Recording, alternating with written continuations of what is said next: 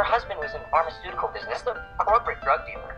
They medicate the American population into fucking zombies. Fucking zombies. Fucking zombies. Fucking zombies. Fucking zombies. Corporate drug dealer. Corporate drug dealer. They medicate the American population. They medicate the American population. All right. I don't need to respect that. All right. I don't need to respect that. All right. I don't need to respect that.